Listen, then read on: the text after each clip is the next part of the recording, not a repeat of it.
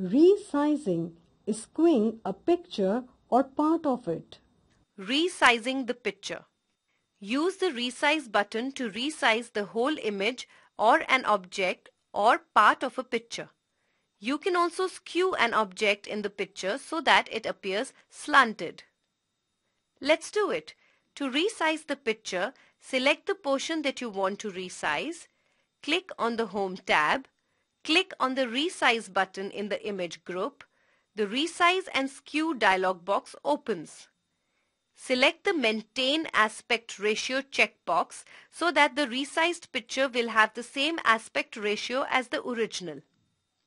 In the resize area, click percentage. You can also select pixels and then enter a new width in the horizontal box or new height in the vertical box.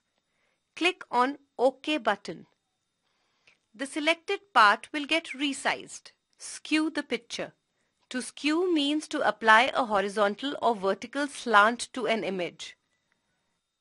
Let's do it. To skew the picture, click on the Home tab.